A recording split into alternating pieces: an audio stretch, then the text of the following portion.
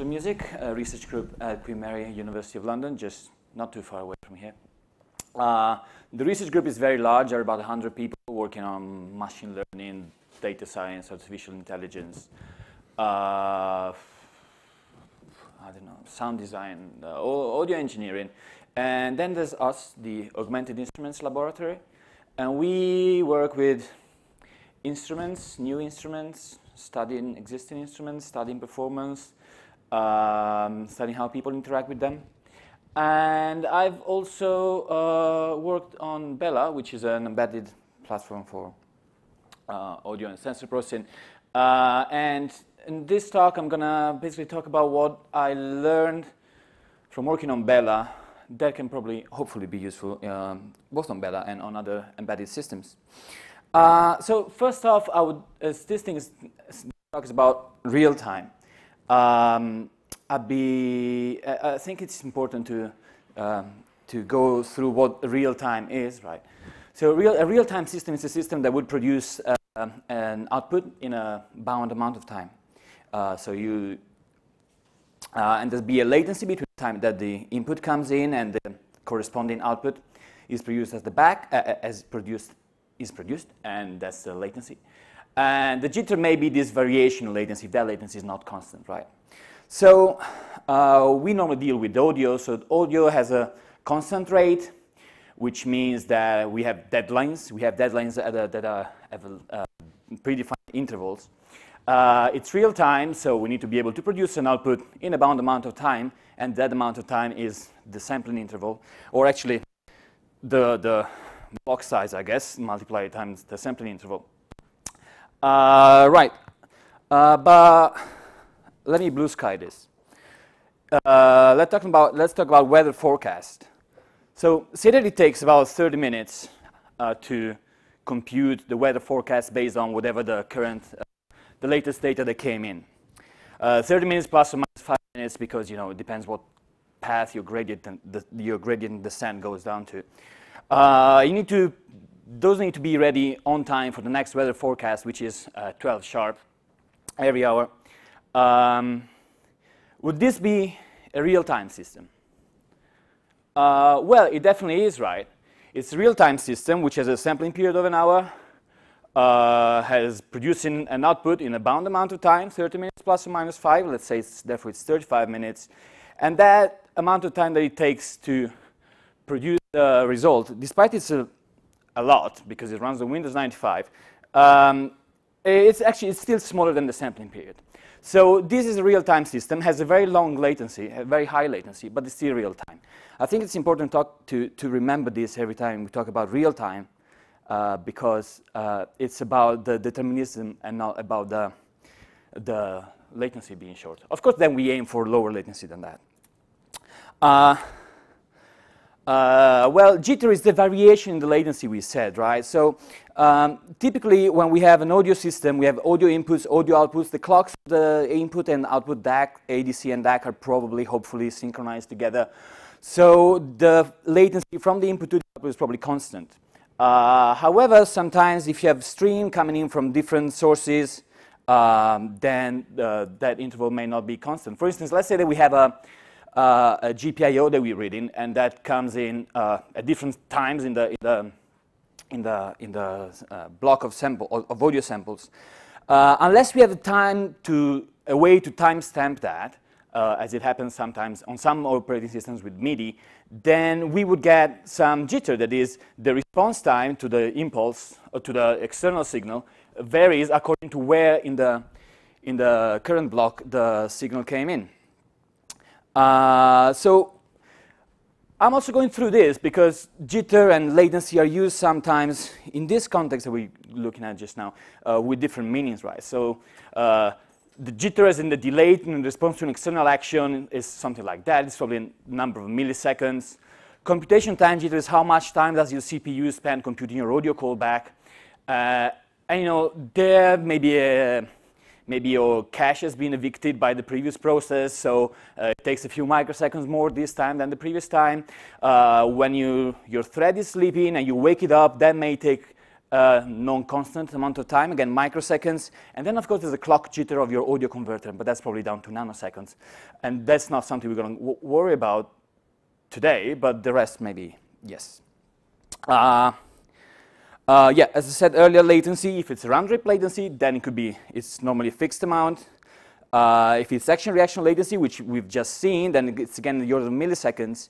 And the trade wake up latency uh, is in order of a few microseconds. And that's something we go back uh, later in a second. Um, right. So when you do audio on an embedded platform, uh, you normally have these constraints. Like, so if you go for a uh, for one of the simplest microcontrollers like a Cortex-M4, then you have limited processing power, you know, 200 megahertz, no SIMD instructions. You can't do quite a lot, you can't do too much with it.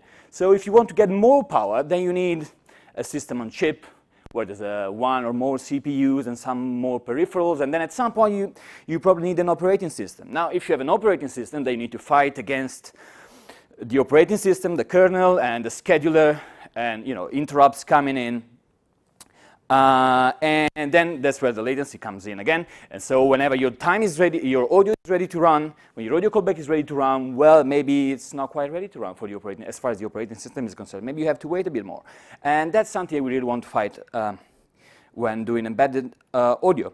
Especially because if you sell someone a product in a, in a box, uh, they expect that product to just work fine, right? It's, it's, it's not your digital workstation, right? It's not Pro Tools where you know it's going to glitch.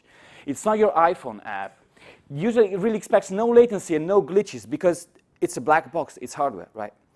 Uh, and yeah, this is in contrast with the mobile audio quality index, right? You've, you've probably heard about this earlier um, uh, during this conference. I, I just copy-pasted some stuff from the JUCE website. That's really funny, right? Uh, so in real-world conditions, the receipt of emails of multiple applications running in the background can affect audio performance, right?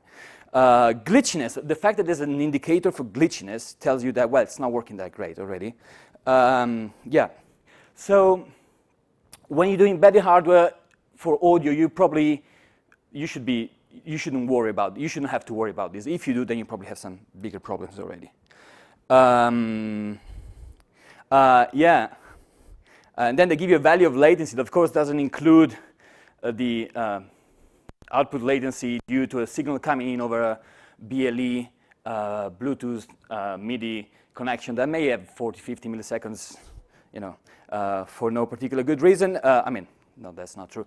Uh, they may have their latency without any uh, fault on your side, but still, if you play something over Bluetooth, that's probably going to be a bit sluggish at the latest, at the least.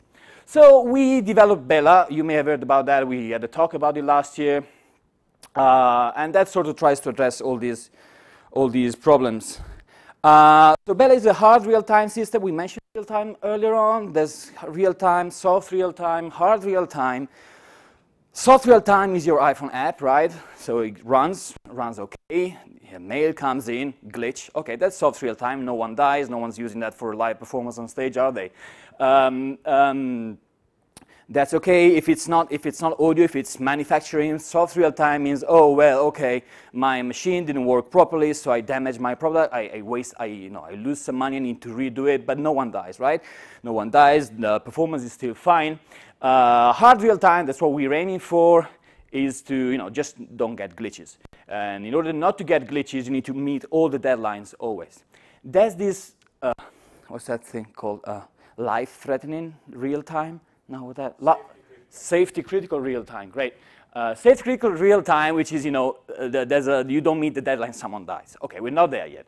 Um, meet all the deadlines always, and you do that by managing your priorities of what's going on on the board, uh, by being responsive, and basically in our case, what we did, it we turned a computer running Linux into a single-use board. Um, so we use Xenomai, which is uh, Oh, uh, Xenomai is a sort of extension, if you will, to Linux, runs as a co-kernel. We'll talk about that a bit more later on. But the, the overall picture is that uh, Linux is sort of um, um, that the audio thread runs first and Linux run uh, afterwards if there's any time left. Uh, so with this setup, we can use a lot of CPU time. This was in my presentation last year. So that's my audio thread on a single board you know, single core machine taking 97% of the CPU.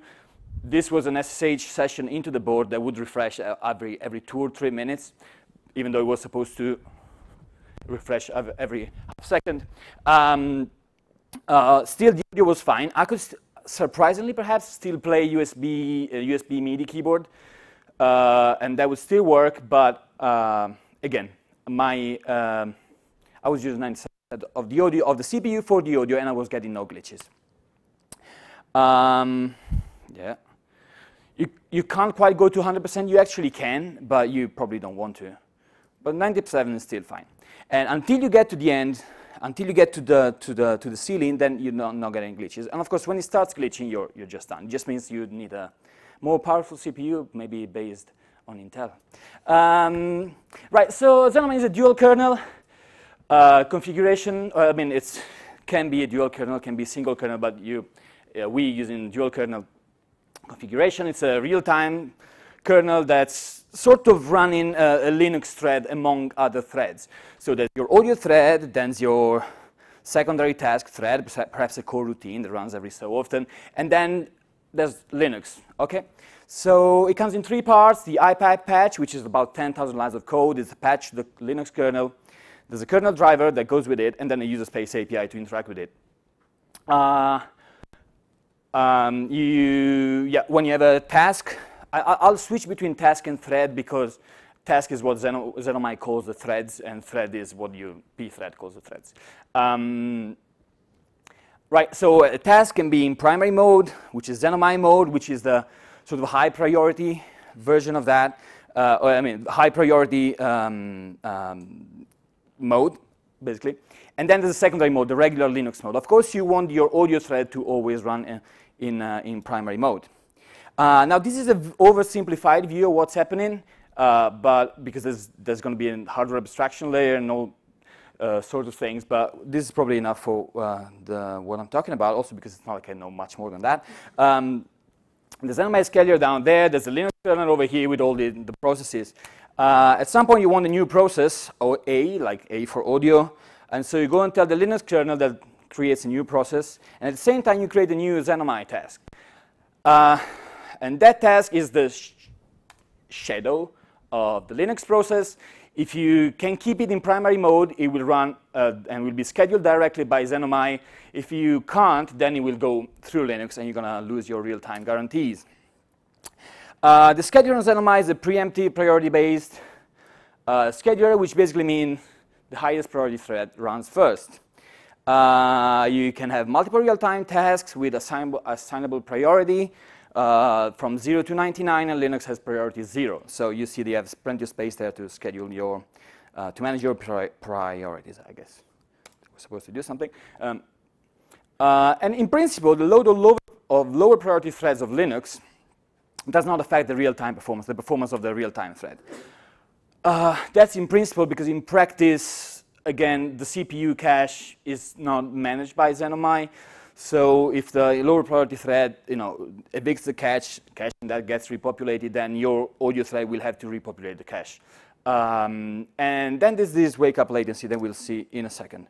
So last year I got this, uh, I got another, a different portion of the same image, and um, um, right? So you may have seen this before, but this is uh, from a 2010 paper that was trying out the, the wake-up time of user space threads uh, on um, a BeagleBoard, if I remember correctly.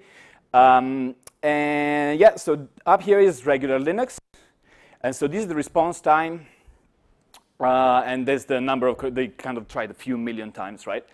Uh, so on regular Linux, your thread would most likely be awakened after you tell it to start in about, I'd say, 70 milliseconds, perhaps, sorry, 70 microseconds. Uh, but, you know, you never know, right? Sometimes, a very small number of time, close to zero, it may take up to 350 microseconds, for instance. Uh, Real-time Linux it's not much better, is it? Uh, Real-time Linux, it is better because, oh, I didn't show you this line here. This line here is 95% of the, way, of the wake-ups happen on this side. So yeah, 95% of the regular Linux, um, when you're in regular Linux, 95% of the time you're going to get about 300 microseconds.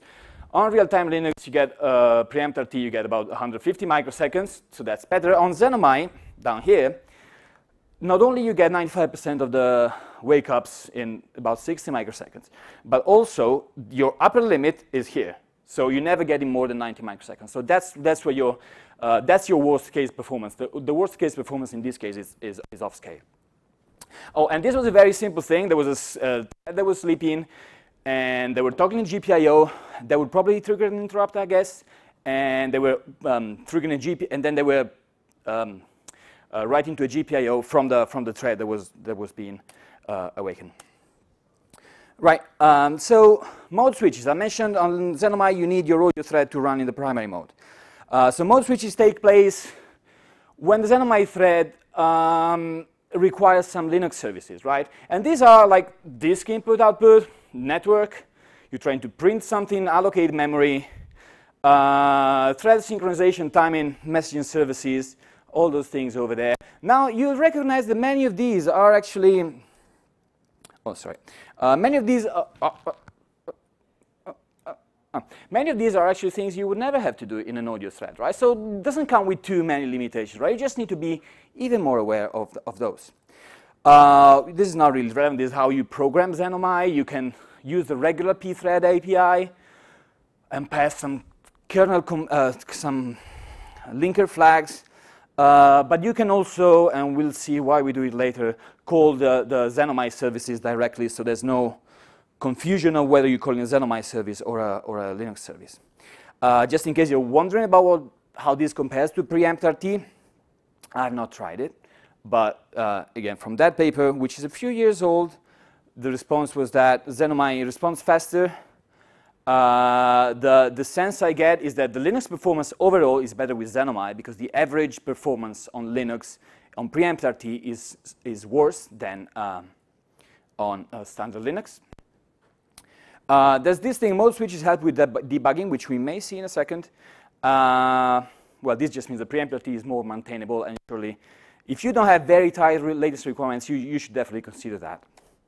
Um, nice thing of Xenomai 3 is that once you write your code for the so-called Mercury, um, uh, sorry, the so-called Cobalt core, which is the actual dual kernel configuration, you can switch to preempt RT with the same user space code. Uh, not with the drivers, if I remember correctly, though. Um, good. So uh, what we want is to achieve real-time safe audio callback. So we should put nothing that could block there. Again, this, this is the basic recommendation of, of anyone uh, writing uh, real-time audio code. Uh, but then a couple extra things here, right? Uh, you want the CPU load to be constant you don't want that you don't want one callback to take much longer than the other and we'll see that in a second why. Um, and, and then this last thing well let's see um, okay so that's again good practice that you would know from primary school.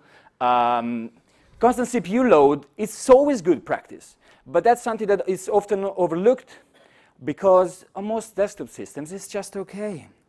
Uh, and this down th thing down here is, is more Xenomai specific. Um, uh, so yeah, first thing we said, uh, you need to have code that doesn't block, right? Code that doesn't go and, and, and uh, wait for the kernel to do something or finish what they, whatever they're doing and come back to you. Um, so, right, this is just in the wrong order.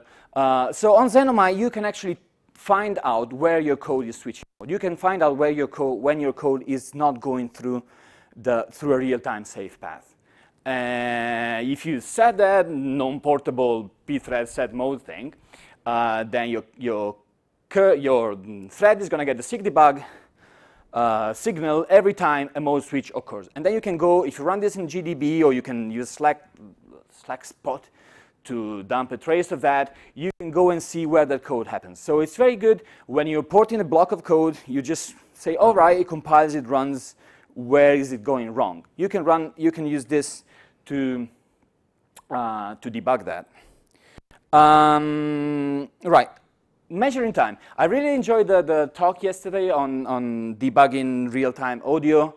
Um, and I, have something to add to it that when you're an embedded platform, it's much more fun to use uh, GPIOs, right? You can memory map a GPIO, access that in about 170 nanoseconds, as that's a toggling, you toggle it up and then down in about 170 nanoseconds. I'm not sure why it takes so long, but it's definitely less than, than calling even the Xenomai real-time safe uh, clock get time. So that's a very good way of benchmarking your code, uh, assuming you have a nice scope. Um, I borrowed it from the electronics lab two years ago uh, for a week. Um, right. Uh, so yeah, uh, that's that's. I, will present some numbers later, not many, uh, and that's how I, I got them. Searching for source. Oh, there you go. Uh, all right. So those three things I said earlier. Uh, not known blocking operations in the audio callback, constant CPU load. Okay, that, that's a constant CPU load, even though the title doesn't say so. So say that we have our call, audio callback. I call it render because that's what we have on Bela, but it could be any of your favorite audio callbacks. And that calls at even intervals in time, right? Uh, so say they have an occasional expensive computation, like an FFT, for instance. Well, you know, anytime I have my 2048 samples ready, I'll just do my FFT. And look, there's plenty of, plenty of time left there, plenty of time left here, you know. So that's, that's, that's a good solution, right? Uh, the problem with that is that your average CPU time over there is probably about, I don't know, 35%. The rest of the time, the CPU is doing something else. It's going on, it's probably going servicing some Linux stuff. But if you have that 35% CPU, let's let's get to the extreme case down here, right? Let's say that your occasional expensive computation takes almost all the time that was left from your audio callback. Uh, well, then you're at the point where you're having an average low CPU usage, but you can't really increase that because otherwise you're going to glitch. You're going to glitch every time you get your, your FFT done. So um, the ceiling is not 100% CPU. Don't just rely on whatever your, your CPU meter tells you, uh, whether that's don't rely on whatever your CPU meter tells you. Uh, perhaps try to toggle the GPIO at the beginning and the end of that and see how much time is actually left and see if, if you're willing to take that risk. And if you need more CPU, then we'll see that in a second. But uh, it's not 100% CPU on average. It's 100% CPU on each audio callback, right? You need to be done every time. Um, right, let's say they are, you know, either in, increase, the uh, increase the sample rate, or reduce the block size, or just have a small, uh, small and less powerful board, uh, which is probably the case, you know, the case for all, all these three things. Uh, so you see now my audio callback is called more often. Um, I have my same FFT. I try to run it as soon as I have all the samples ready, and it doesn't run, right? I mean, it does run, but then it overruns. So I have a drop, I have a dropout there. I have a glitch over there. Um, so what we would normally do is we put that in a separate thread, right? So if we, if you manage to uh, to get your expensive occasional computation split over a number of callbacks, then you're probably safe, right? So in this case, we just put the, the FFT, in this case, or whatever computation, in a separate thread. Uh, we, our audio callback still has the same duration every time. There's no increase in that, so there's no glitches. You put in a separate thread, and the thread will run whenever it has time, right?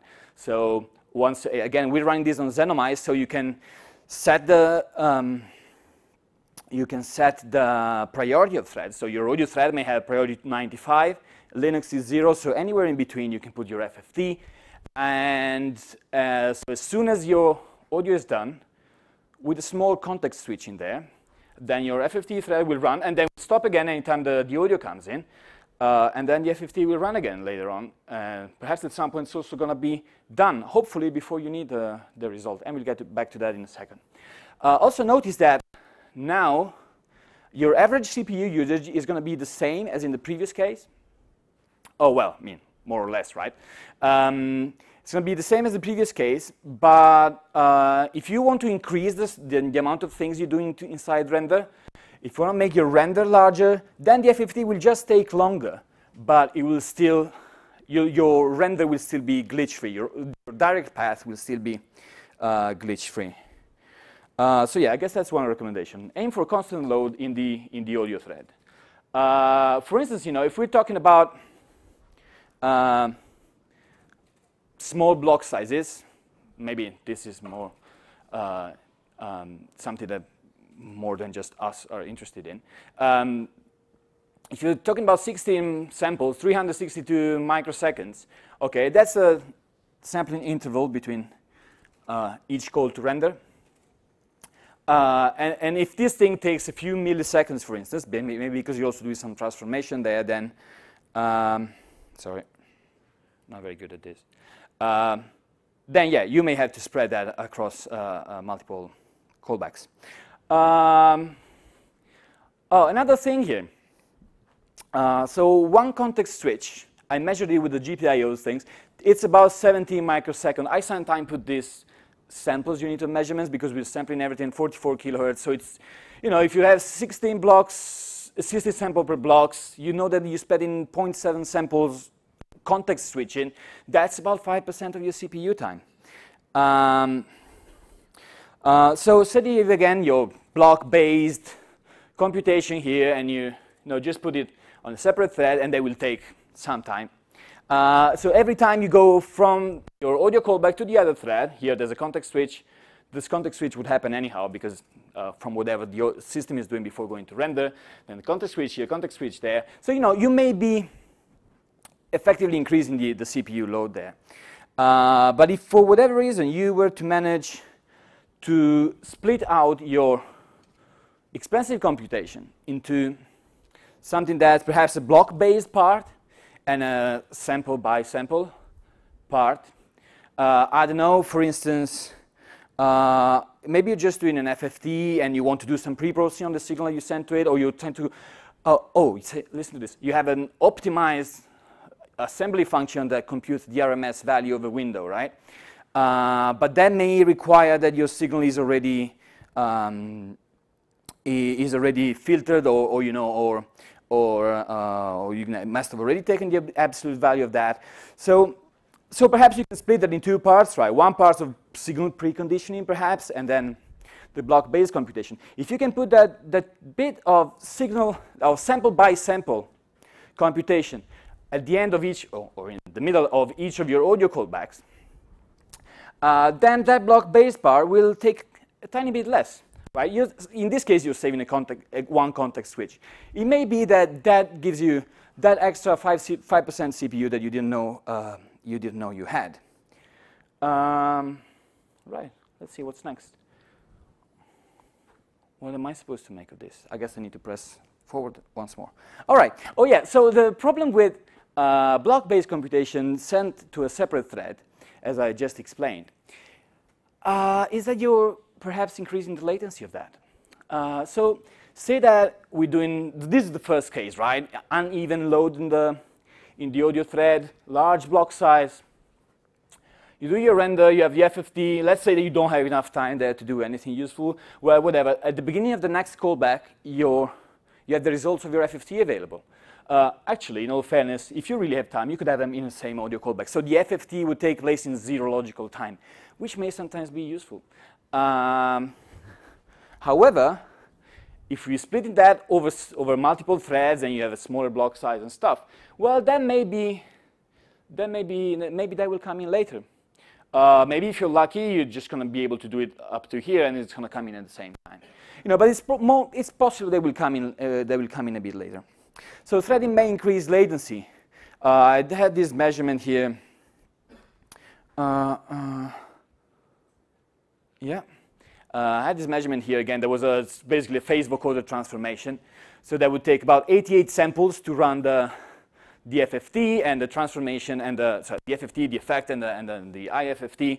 Uh, about 88 samples. Well, that means that, you know, um, you may be, if you have a 16 sample block size, then perhaps you want to wait until like four blocks until you get the, the, um, uh, that result. Okay, so that's 128 samples latency. That's probably that's perhaps okay, depending on your on, depending on your application. Um, uh, but what's important if that if you if you have a sort of dry path in your in your in your audio processing code, if you have a dry path that allows you, for instance, to you know I don't know, perhaps you're using the FFT for computing some filter coefficients and You just want a dry path of your signal where the filters are, are being applied. Well, then you don't get that latency into the, the, the dry path, right? You only get the latency on the whatever transformed or, or in the application of those filter coefficients. So that, that could also be useful. And ultimately, uh, the result may be not uh, as bad, right? It comes in, if you have a smaller block size, that result comes in a while later. But the, um, I did this with very accurate measurements in Keynote. I split the, I put the block here, then I put this to make sure that they add up. So that's sort of realistic, okay? I'm not cheating. Um, of course, the alternative is to increase the block size and the latency of the whole path. Uh, and utilize and use uh, your CPU in a less efficient way. Uh, that is your your your uh, thing up there. Uh, then on some systems, you may not, not even be able to increase the block size at will. But you know, in principle, if you have a Facebook vocoder with a, a step of 512 samples, well, if you can make your block size 512, then you're just, uh, th then you will have a constant load on each audio callback, right? Because you will have an FFT in each audio callback, and that's just fine, okay? Assuming, of, of course, assuming that your CPU can make it and everything. Uh, so this is sort of an exemplification of that. Uh, there's a box around the FFT tilde, but it's, it's just a reference to a, a random programming language. Um, right? So you, from your audio callback, you do something very cheap, which is put your samples inside a buffer, which is called input here, and it's very confusing because that's an output for that, but an input for that, well, whatever, you need to call it something. Uh, so you accumulate the samples there, you probably keeping track, keeping track of that, and somehow you can signal another real-time task and tell it, oh, the, the stuff is ready to be processed. At that point, the real-time thread will get the input, do whatever it needs to do, and take whatever time it needs to take. Uh, and store the result on the output buffer. Now, this thing of takes whatever time it needs to take. Uh, as mentioned earlier, you may have a, you will have a latency there. If you want to minimize the latency of the of the thread, then you may have to benchmark that on your on your platform and see how long it takes, how much uh, variation there is, and so how how early can you expect your results to be to be ready. You store the result back in the output buffer, and then signal back the audio callback. At that point, the audio callback fetches the result. Now you see what we're doing here from the audio callback is I'm just writing samples to the input buffer, fairly easy. Uh, here I'm just getting the results, again, fairly easy. Uh, the load of the, of the audio callback is constant because uh, you know, you're probably, if you, again, if you're running a phase vocoder, you're probably storing samples and reading samples the whole time. So that's a good thing. Um, Next example.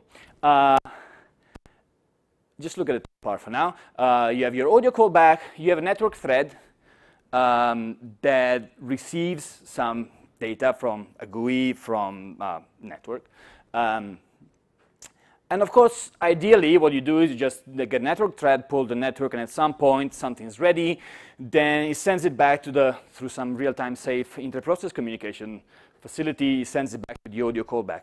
Okay, that's great. That at least it doesn't block in the audio thread. It doesn't check for network in the audio thread, um, unlike some programming languages with boxes do.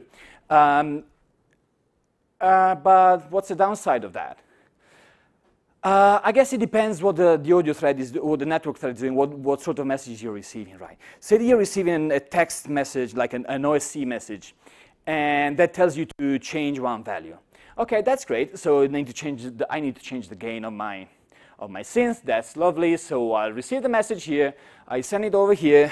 Oh, oh, look, an OSC message. What should I do? Oh, let's parse it. Okay, so you go and call, call, parse the string, try to understand who that should go to.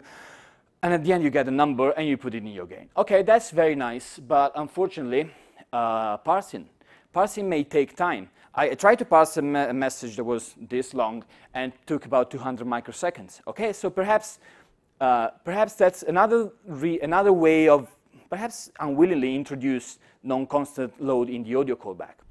So perhaps what you should do is parse the received message in the network, network thread. Okay, so all the things that are expensive and that are not happening every time, that should happen here. For instance, say that, that I was actually, maybe this was not network, was something else, and I was receiving a message for every audio callback. then okay, that's fine. I can keep, I can keep it this way because I'm receiving it every time. But if I'm not receiving it every time, then it means that uh, it's better if I can do the parsing here, if I can do all the expensive stuff here, and maybe just send back a number. I put that in my gain, and I'm sorted.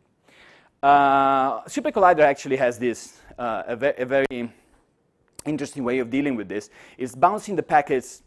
Uh, an OSC message comes in, and is, it gets parsed and gets sent to the audio callback that then can send it back to the non time thread, and they could do back and forth a few times. So if that anything needs to happen in the audio thread, for instance, uh, okay, I'm gonna tell me what uh, what value. Um, tell me the value of your analog input. Okay, so I can I can get it from here and I can send it back, and then perhaps this some does something else and sends it back to me because it wants to do know I don't know the output the input for instance uh, after a couple of blocks. Okay, then I'll send it back, and then the expensive stuff happens here, but there's a FIFO. There are multiple FIFOs that uh, go back and forth between the threads. Um, so that's, that's another interesting approach. Uh, so again, the, yeah, say too many times. Okay, so aim for constant CPU load in the audio thread. Offload block-based computations to other thread threads. Uh, use thread priority. Again, with Xenomai, you have this large number of priority levels you can set. You have the same in, in, uh, in preempt RT. Uh, and that's very convenient because these other threads, like our FFT, is actually a very important thread. If that FFT is not done on time, then we're going to glitch. Okay, even if it's even if it's not the audio callback, it's another it's not a thread. If it's not done on time, we have a glitch. So those need to be real-time threads. And if you're doing, for instance, a partition convolution where you have multiple FFTs running at the same time to do a, a quick and efficient convolution, uh, then you may have to use thread priority and get, make sure that the one that needs to be done first has a higher priority. Uh, and, and this is another generic uh, good practice. Do not rely on the block size of your audio callback for your DSP algorithm. Again, uh, the way you, when you first do an FFT, uh, when you first learned how to do an FFT, you probably just set an arbitrary block size. Actually, you probably don't even set the block size. You just say, all right, I have these many samples. Let me do an FFT in a block size, right? So you don't have to deal with accumulating those samples somewhere in the buffer. Uh, and then you want to change the, the, um, the, FFT, well, you just, the resolution of the FFT, well, you just change the block size. Well, that's not, that's not often, uh, often how it works. So your code should always, possibly, uh, run the same regardless, regardless of the block size, okay?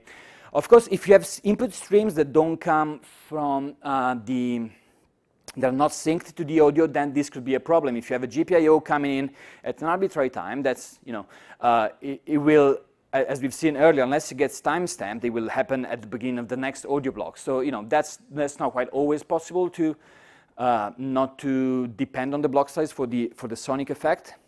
So for the, for the produced results, basically.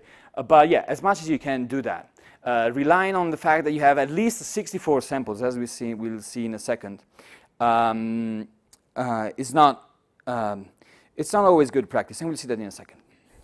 Uh, I think another good question is, is your task, as in not the audio callback, we know that the audio callback is a real-time task, but is your other task a real-time task? So a good question to ask here is, does it require Linux services?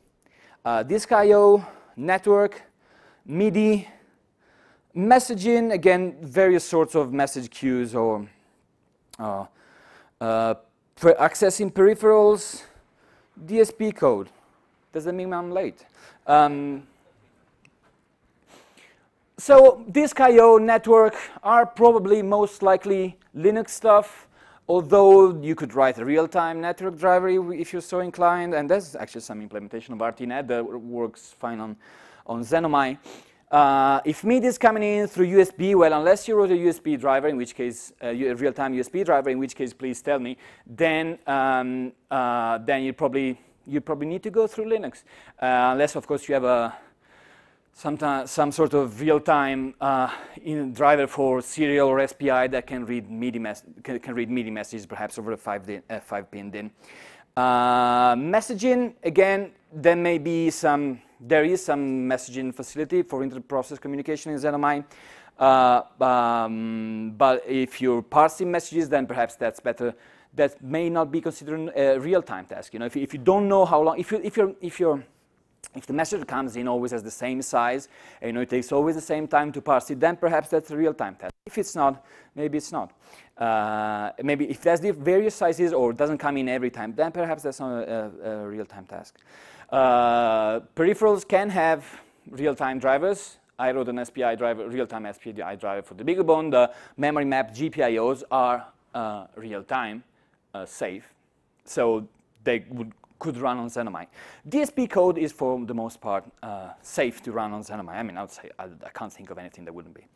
Um, so yeah, if something is a, one of these things, perhaps it could be that, um, again, on these only if you have a real-time driver. Uh, perhaps it could be a real-time task, and so you would run in Xenomai. Otherwise, you know, your network, MIDI, I.O., that's going through the standard Linux kernel, well, then that's it's not a real-time test. You can run it with pthread.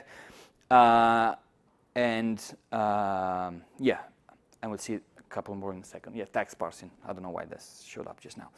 Uh, because it's also true that using real-time resources, again, message queues or, or semaphores or synchronization variables from a non-real-time thread uh, has some overhead because the thread needs to switch to primary mode to use that resource, and that can be. I didn't I didn't time that, but that's probably again about 17 microsecond. I believe it's. I think it should be the same as a context switch.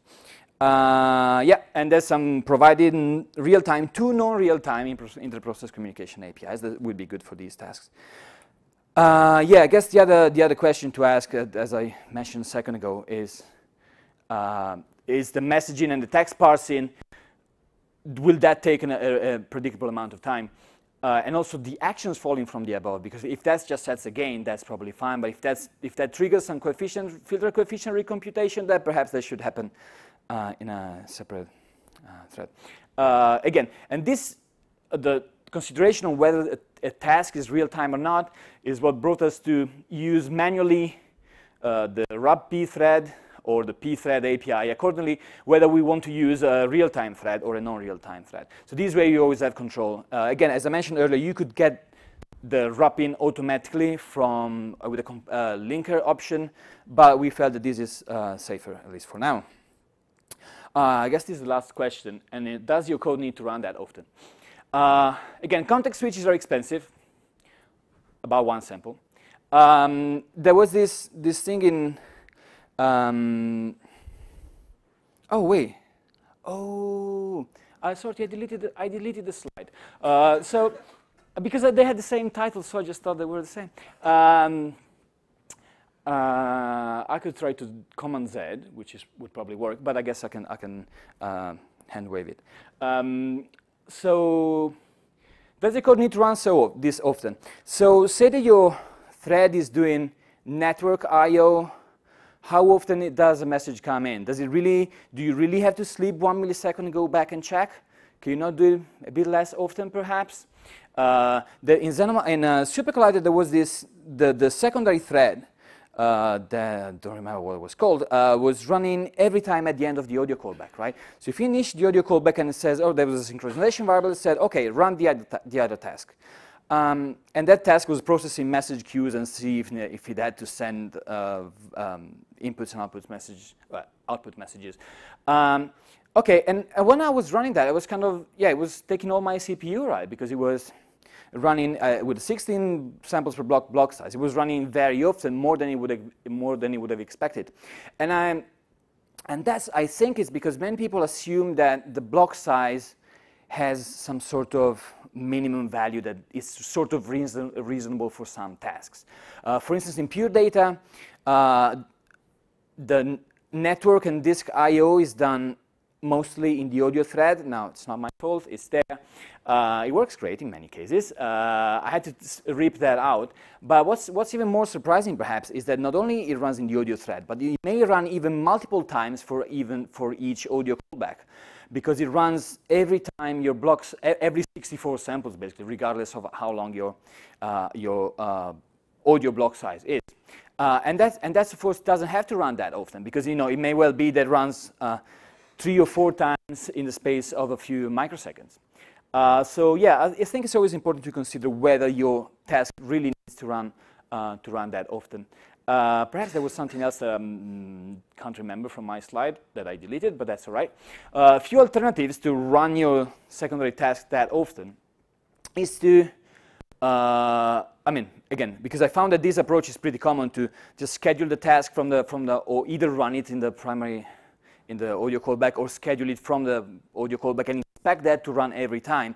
Um, the, another consideration is that if you it's not like um, if you want your test to run every time your audio callback is done, then uh, does it mean that that has to run every time? Does it mean that that's not thread safe? Does it mean that there's, there's something going on? Because if, it's, if it does need to run every time, then just put in the audio callback, no need for having that in a, in a separate thread. Um, so I think that these are three good advices, perhaps, to how to handle a secondary thread that doesn't need to run that often.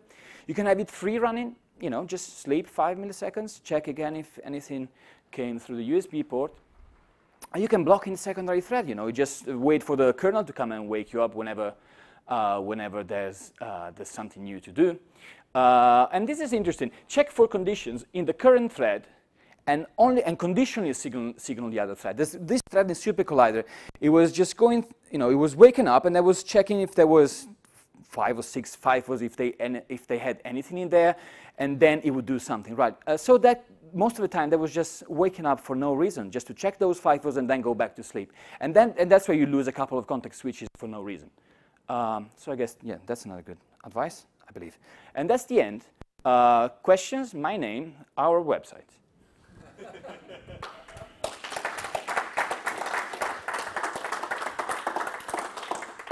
and I'll do this so I can see it's yeah, quarter to five.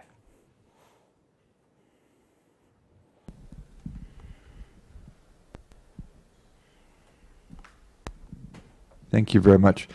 Um, I'm not an expert in FFT, so this may be a stupid question, but I was wondering if you could take a large FFT block size, like 2048, and smear it over time by putting sort of, um, uh, you know, uh, voluntary preemption inside of the FFTs where it does some of the work, then returns. Yes, I believe yeah. that you could write or find a DSP library that does just that, right? So the DSP library would be, I don't know how we would call it, like split FFT perhaps, something like that. And so it may say, all right, I'm going to run the first few, however many blocks now, and then I'm going to stop, and then you can call me again.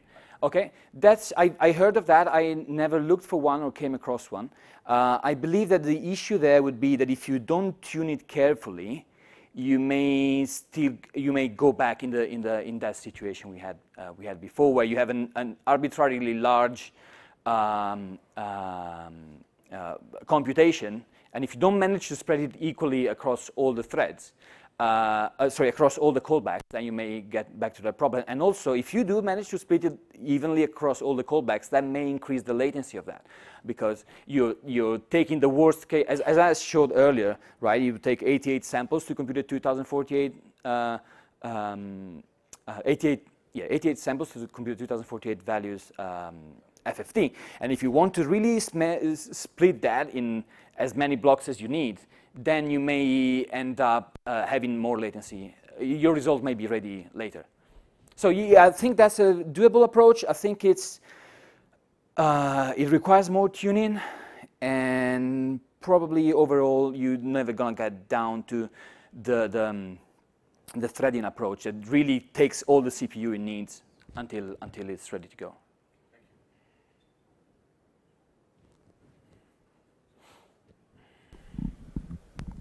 Yes, thank you very much for this interesting talk. Um, so I have two quick questions. Uh, the first one is, so you have SuperCollider implemented now on Bela? Yes. So you it, okay. And the other question is regarding the this uh, this kind of message passing in this SuperCollider code that you showed yeah. between threads. So it's, if I understood correctly, you're you're sending data and then just assuming that there's some data coming back. So you're uh, sending it back again. Uh, not quite like that. So there's a, there are some FIFOs to communicate. So there's a FIFO, so there's a network thread, I believe, that receives the OSC message and puts it in a FIFO, and that gets passed to the engine okay. and packets to engine. That's the first FIFO. And then you call stage one on the, on the packet. Now, this thing is called, what's that? SC sequence command. Not all of them are like that. But there's a number of built-in commands that are like this. And so they have different stages. You call stage one, and uh, on the packet, which run, always runs on the real-time thread, and then you put that in another, whatever the result needs to be. You put that in a FIFO that goes, that's called M from engine, and gets processed by stage two, which is runs in a non-real-time thread. And once that's processed, whatever needs to go back to the audio thread, it goes in M2 engine that gets processed in the real-time thread here, stage three. That sends it in M from engine again. Uh, these are the same FIFO, but they set a flag to understand what it needs to call stage two or stage four next, and it goes here. Uh, this is the the yeah. Sorry, that's that's the that's the thing. Um, uh, the port of SuperCollider uh, has been done by Marije Baalman and Dan Stowell, and I collaborated to that too. And this in particular comes from a conversation I had with Marije earlier this summer. Okay, great. Thank you. You're welcome. Yeah, I have a question. Um, if uh, if you want to use multiple cores, then does Xenomai provide ways to say you have an audio callback and you want to use the multiple cores to split your processing? So does Xenomai provide ways to uh, do synchronization across real-time threads also? Uh, it does, yes. You can have multiple cores, and they, you can also assign, I think at compile time of the kernel, you decide how many cores will run real-time tasks. Um, and then you can assign processes to those. Of course, it doesn't do any sort of parallelization of the DSP code. That's, that's up to you. But you, you can manage multiple cores that way. Okay, thank you. You're welcome. Um, are you familiar with uh, where PreemptRT has gotten to in its worst case latency and in its uh, comparison? No, I'm not. And I should have mentioned that earlier. Things got better since then. Uh, but I, I, have no idea where, where it got to, really. Uh, I, yeah, I never, I never benchmarked that. Uh, although now there's, um, uh, there's, there's a PreemptRT version for the BeagleBone that I may test at some point to see, to see how those compare. Any last questions? All right, thank you very much.